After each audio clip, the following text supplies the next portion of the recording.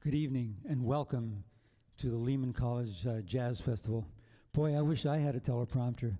I have to actually wing it up here. But I want to first thank Alan Molnar and the staff here for, uh, first of all, inviting us to play and also for doing all the good work that he is doing uh, with uh, transmitting music and education uh, throughout the world via the internet. I think Alan's a real innovator in this regard. So I'm very happy to be uh, part of this experiment. And for our part, you can see behind me some of the best musicians to be found anywhere. So without further ado, I want to let you hear them so you can make up your own mind. So we're going to start with a composition by Gordon Sheard, which is written in the Baião rhythm of northeastern Brazil. This particular song is called Stella Maris. It's about a town on the South Atlantic coast. Stella Maris or Star of the Ocean?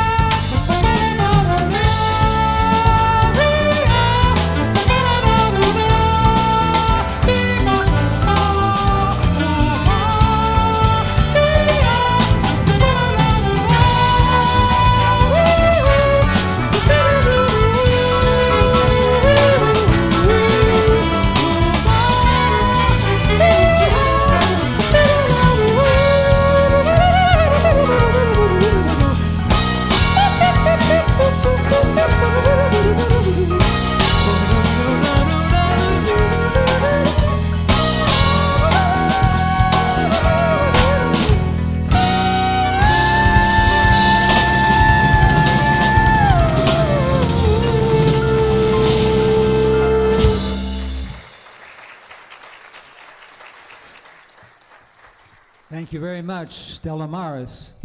Let's have a little round of applause here for Ben Kono on soprano saxophone, please.